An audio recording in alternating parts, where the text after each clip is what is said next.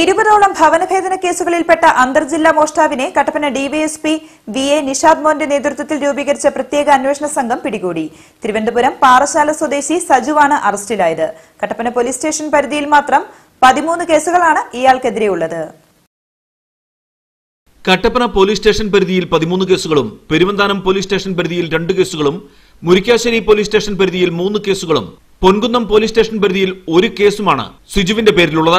മാലപൊട്ടിക്കൽ കേസിൽ രണ്ടായിരത്തി ഇരുപത് നവംബറിൽ പൊൻകുന്നം പോലീസ് അറസ്റ്റ് ചെയ്ത പ്രതി രണ്ടായിരത്തി ഇരുപത്തിയൊന്ന് ജനുവരിയിൽ പുറത്തിറങ്ങിയ ശേഷം അയ്യപ്പൻകോവിൽ വെള്ളിലാങ്കണ്ടം ഭാഗത്ത് വാടകയ്ക്ക് താമസിച്ച് മോഷണം നടത്തിവരികയാണ് പിടിയിലായത്.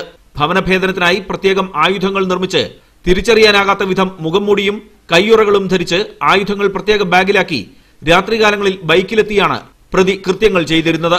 പ്രധാന റോഡുകളോട് ചേർന്ന ഒറ്റപ്പെട്ട വീടുകളാണ് മോഷണത്തിനായി തെരഞ്ഞെടുത്തിരുന്നത്. പ്രതി മറ്റേതെങ്കിലും സ്ഥലങ്ങളിൽ സമാന കുറ്റകൃത്യങ്ങൾ നടത്തിയിട്ടുണ്ടോ എന്ന് അന്വേഷിച്ചു വരികയാണ്. രണ്ടായിരത്തി പതിമൂന്നിൽ തിരുവനന്തപുരം പൂവാറിൽ നിന്ന് വിഗ്രഹം മോഷ്ടിച്ച കേസിലും ടെക്നോ പാർക്കിൽ നിന്ന് ബൈക്ക് മോഷ്ടിച്ച കേസിലും പന്തളത്തു നിന്ന് കാർ മോഷ്ടിച്ച കേസിലും സജു ജയിൽ ശിക്ഷ അനുഭവിച്ചിട്ടുണ്ട്. Kattappana circle inspector Vishal Johnson S ഐമാരായ Dileep Kumar Sajimon Joseph A S ഐമാരായ Basil P Isaac Subair S C P ഒമാരായ Tony John Aneesh V K എന്നിവരാണ് അന്വേഷണ സംഘത്തിലുണ്ടായിരുന്നത്